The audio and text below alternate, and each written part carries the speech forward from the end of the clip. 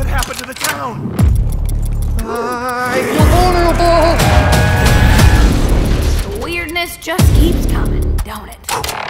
Maybe all this means something. I'm darn if I know what, though. I don't understand. Why are you doing this? What? What do you mean, mend the rift? Travel where? Don't get it? There's nothing left!